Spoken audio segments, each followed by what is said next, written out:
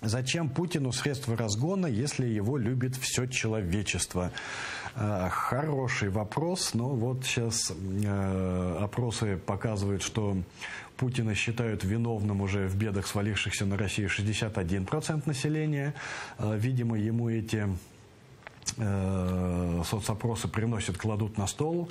Видимо, он чувствует, что Э, ситуация изменяется, к тому же нефть замечательно начинает падать, и человек явно готовится к тому, что будет Венесуэла. Я думаю, что он понимает, к чему все идет, и вот для того, чтобы усидеть на троне, ему нужна э, вот эта вот Росгвардия, которую они вооружают и комплексами «Стена», и лазерным оружием, и гранатометами, и даже огнеметами «Шмель».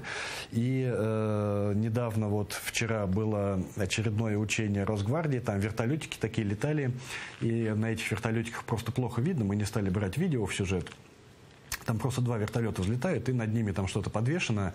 Но при увеличении на стоп-кадрах видно, что это люлька, в которой сидят, а, стоят три бойца, э, видимо, Росгвардии или служба охраны, или ФСО а, с автоматами. И вот вертолет переносит эту люльку с тремя вот этими вот э, э, терминаторами по воздуху. По всей видимости, это была отработка эвакуации Владимира Владимировича Путина из Кремля.